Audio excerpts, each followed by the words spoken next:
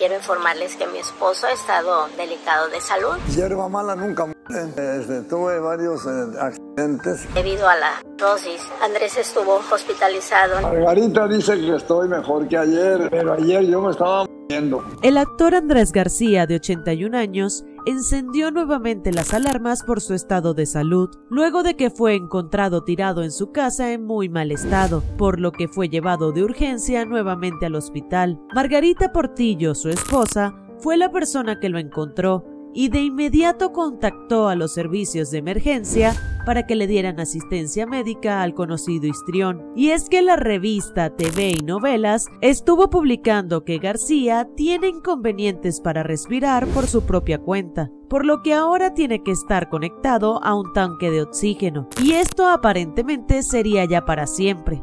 Incluso en las imágenes reveladas por la revista mostraron cómo él se encontraba al interior de una ambulancia y con oxigenación. En dichas fotografías, además, se ve al actor cansado y con oxígeno mientras es trasladado al hospital. Recordemos que una de las mayores complicaciones que tiene este famoso actor de telenovelas está relacionado justamente con que él tiene un padecimiento que le afecta sus niveles de hemoglobina, una proteína que es de vital importancia para que se transporte el oxígeno por todo el cuerpo, por lo que se cree entonces que esta nueva transfusión de sangre puede estar relacionada con esta situación.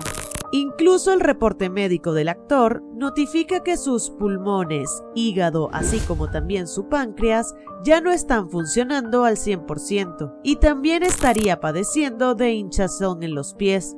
Por el momento aseguran que esta situación se está controlando, pero sin embargo se reporta que el estado de salud del actor es bastante delicado, aunque por ahora se mantenga estable. Es por eso que ahora los fanáticos de este aclamado actor que conquistó millones de corazones a través de la pantalla esperan que él pronto se recupere en casa de su esposa Margarita Portillo, con quien recordemos hace apenas unas cuantas semanas se estuvo reconciliando, pues también se sabe que ellos ya habían iniciado los trámites de divorcio para acabar con su largo matrimonio de 22 años.